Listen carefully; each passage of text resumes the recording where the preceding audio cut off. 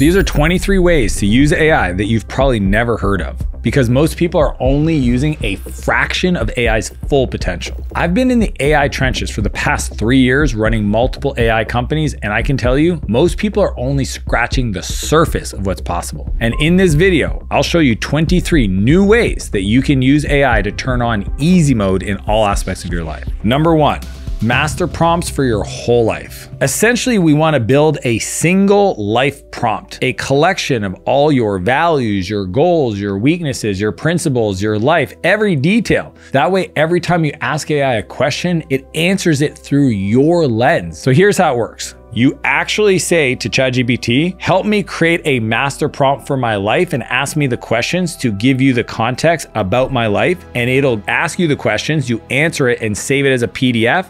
Now, anytime you ask AI or any other AI, upload the PDF before you ask your question so it has all the context. That's your master prompt. Number two, hidden truth mirror. AI's number one opportunity for most people is to use it to uncover blind spots and traits that you don't even realize about yourself. Here's how we do this. I want you to open up your AI of choice. I like ChatGPT. Feed it your journals, feed it your blog posts, feed it your content, feed it all the information, any patterns for context, but ask it, tell me something unique about me that I don't see yet. The truth is, if you've been using ChatGPT or other a lot, it'll already know this stuff. Number three, write books that don't even exist yet.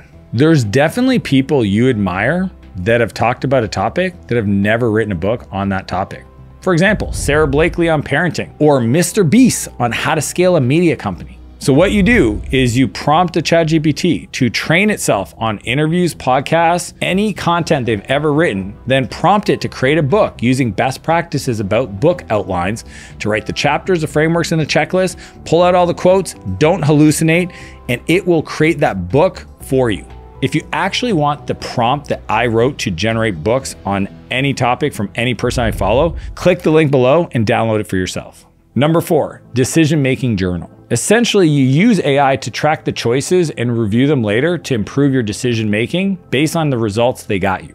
Here's how you do it. Log all your major decisions into ChatGPT with an expected outcome, whether personal or in your work, and ask it to challenge you on your thinking. See, most AIs are designed to be very agreeable, and unless you tell it to actually challenge you, it won't. So make sure that you include that in your prompt. Number five, the AI camcorder method you can take a messy recording of you doing something that you want to create a repeatable checklist from or standard operating procedure or a playbook, and you can get AI to do that for you. All you have to do is paste the raw notes or transcript from any video of you doing something and ask ChatGPT for a one page checklist with all the pitfalls and the reminders for whatever you gave it. It will create a better system documentation for repeating a task or a project in your life that you can give to somebody else to do for you. Number six, break down goals to actions. Most people have a vision for their life, but they don't have a plan because they've never done it before. You can use AI to actually help you build a plan. Here's how we do it. Tell ChatGPT what your goal is and ask it to design a 30, 60, 90 day roadmap with action items, and it'll build that for you. Number seven, visualize your dreams. Instead of spending all your time finding images to download and spending hours in Photoshop, you can have AI create a vision board that has everything that you want to vision for your life front and center in that image. So here's how we do it. We take our goals from the last step and ask AI to generate images of what your life would look like once you achieve them. And then look at it every day. Be in the energy of achievement. Number eight, automate savings and investment plan. Essentially, you want to automate your wealth building when your motivation isn't there and you get AI to give you the plan. So ask ChatGPT to draft a pay yourself first schedule and bankrolls for emergency fund, debt, investments for your specific situation. Most people hire these wealth folks that really don't even have any money to build a plan for you. AI will give you that with more clarity, specificity, specific for your situation. Number nine, tax deduction finder. Right off the bat, talk to a professional. But Having AI catch write-offs, opportunities for credit, and grants where most people miss is a huge opportunity to get more money back. Upload all your expenses. Ask ChatGPT based on your situation, flag likely deductions, and build a monthly tracking checklist. And also ask it what are the grants that might be available that I might qualify for. Number 10, personal board of advisors. One of the most powerful strategies to progress your life is the concept of a mastermind or a board of mentors. Problem is, is a lot of these people aren't available. AI can help you build that without them being in your life, even if they're not alive. The first part is you can actually ask ChatGPT to tell you who's achieved the goals that you want to achieve so they help you build that list. Then you can tell it to act like them in a custom GPT to answer any question you might have about sequencing or decisions or structure based on the AI's best guess for how those people would have made those decisions in their life. Number 11, future self letters that rewire you. Essentially, you stay motivated by receiving letters from your future self. What you want to do is you want to feed ChatGPT your goals and your fears. Then ask it to draft letters delivered to you in 30, 90, or 365 days. You can actually send them every month if you want. But it's going to write the letters that's going to anticipate how you might be feeling based on where you're at in your life around your goals. And it's going to just keep you motivated. Number 12, context aware memory vault. Essentially, you want to let AI become your second brain. To do that, we want to create project folders and dump everything into it. You can have a folder where you upload everything your bank accounts, your current investments. You can even reference books that you think are kind of aligned with your values of how you want to live your life. You know, Die with Zero is a great book. And then ask it to help you make decisions based on the context of your life. That way, it acts as a second brain and it can recall relevant insights that it made based on what you shared with it. So when you want to make new decisions, it has all the information about your current life and you give it the new information. Then you say, okay, now I've got a kid. How should I think about my investments differently? And it'll give you an answer. I use project folders for everything my investments in my life, the individual companies that I run. I was buying a new piece of real estate in Cabo. I had that as a project folder. It is the coolest thing to have my second brain be in AI. Number 13, just in time learning paths. The ability to learn is a master skill. Too many people get busy learning stuff that doesn't actually help them. So let's say you want to have ChatGPT teach you how to use AI. You can ask it to map out 20% of the lessons to learn how to use AI that matters most and skip all the fluff. That way, it's just a punchy learning path that's just in time based on what you're dealing with right now. Number 14, meeting assistant. I wrote a book called Buy Back Your Time. So anything that talks about assistants, I get really excited. But what I do is I use AI to turn all my meetings into assets, not just a huge time sink. So for example, you want to give the call recordings that you have, ideally you're doing them over Zoom, to AI and then have it pull all the notes and tell you what do you need to do based on that conversation. This might sound crazy, but I have a guy on my team, Optin, who wears a AI pin. It's a necklace that's always on. It's by Limitless. And essentially that necklace is doing this in real time for him all the time. He's in a meeting talking to somebody, it does a summary of the meeting and tell him what he needs to add to his to-do list all real time, always on. A little advanced, but let's just start with having you get the recordings of your calls and transcribe them through AI. Number 15, risk assessment. Essentially, you wanna have AI assess the risk of your business or life decisions. I do this all the time.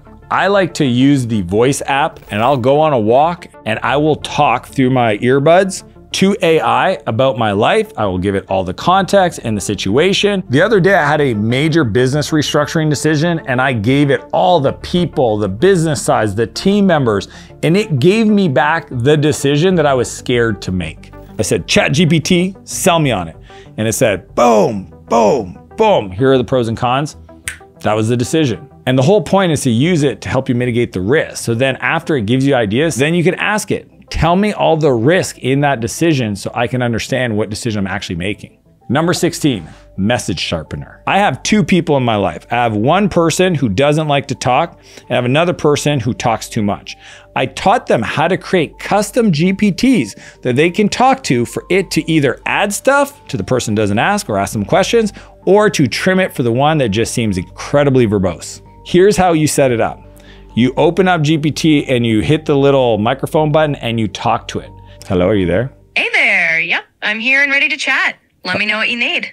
All right, I need you to take what I'm about to say, which is going to be a very direct and angry thing, and then take exactly what I said, but re say it in a way that's kinder, softer, and more still direct, but not as harsh. Can you do that? Absolutely, I can do that. Just go ahead and tell me what you want to say, and I'll reshape it into something a bit gentler for you. Yo, bro, why didn't you send me the fucking 2026 goals yet? Got it. So let's soften that up a bit. You could say something like, Hey, I noticed I haven't received the 2026 goals yet. Could you please send them over when you get a chance? Still direct, but definitely a bit kinder. Let's go. I love it. Thank you. It may sound funny, but I know a lot of people that should be using that. Number 17, travel architect. Using AI to help you plan a trip is a master tool in you not feeling overwhelmed or confused. What you can do is give it the date, your budget, your preferences, and then ask it for a five stop plan with hidden gems and must sees. We're currently on a nine month world schooling trip going to like 15 countries and 40 plus cities. And we've been using AI to help us design, follow weather, find games to go to, ensure the kids are always busy, all designed with AI. There is zero chance that we could have got to the level of trip planning without AI for our world schooling adventures. And if you use agent mode, all you have to do is give it your card. Number 18, an emotional debrief partner. Using AI to turn bad days or bad moments into lessons is one of the number one use cases for AI. Getting clarity around a situation, it's so powerful. The easiest way to do that is go into voice mode and just vent and give it everything. Here's the situation, here's what they said, here's how I felt.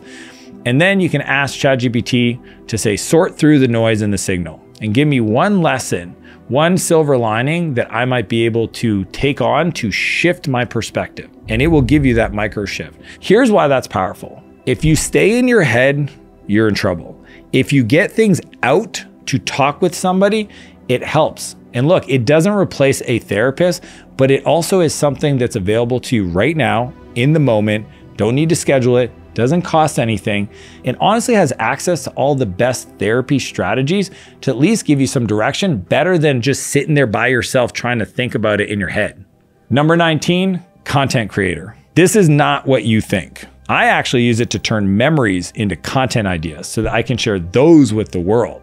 The way you do this is you ask ChatGPT to ask you all the meaningful stories, moments, transformations you've ever had in your life, and then you just answer it. And then say, please reformat these into a PSL framework, essentially a point, story, lesson. And what it does is it takes all the stories that you've just like kind of rambled about and answered questions about this meaningful moment, and then it rewrites it in a structure that you can then create content with that actually hits hard. Number 20, the contract translator.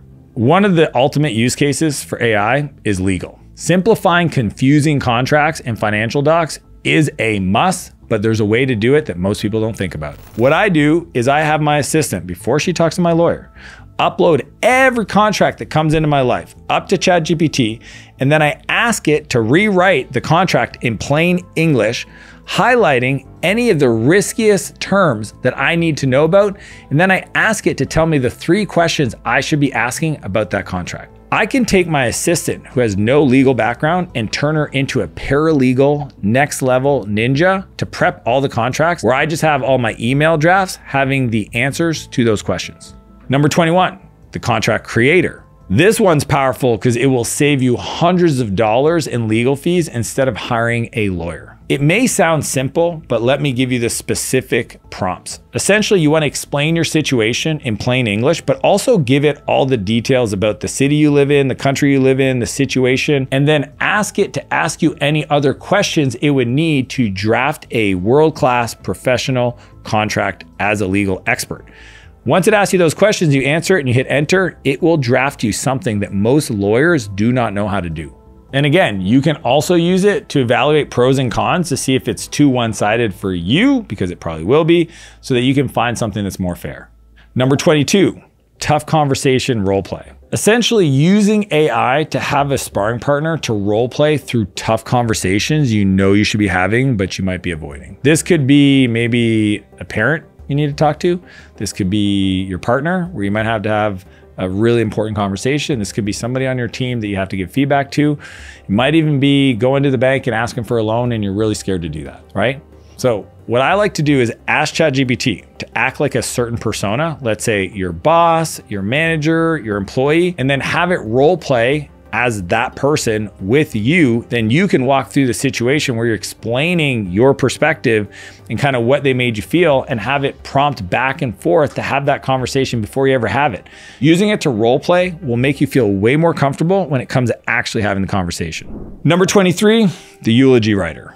A eulogy is an incredible way to have alignment with your life and actually see how you might be remembered through other people's eyes. A while ago, when I was 23, my first business coach, his name was Bob, asked me to do something on our first call that had the biggest impact on my life more than anything else he taught me. And it was to sit down and write my eulogy. So here's how you do it ask ChatGPT to draft your eulogy based on your journals, your values, any other context, your master prompt that you might have gave it. Have it focus on what would my family members say, what would my friends say, people I've worked with, and people in my community. And having those four areas, that's what Bob did for me allowed me to write and refine how I wanted those people to talk about who I was. And that gave me clarity for how I was building my life. Now, if you want my internal system prompts for how I talk to AI in the code, just click the link below in the description and grab yourself a copy. There's a lot that we just covered, and all I want you to do is pick one. Pick one that you think, if I started doing that in my life, I think that'd be pretty great. Pick that one, leave a comment below, and let me know which one's your favorite. Now, if you want to learn the three things that will make you future proof in the AI era, click here and I'll see you on the other side.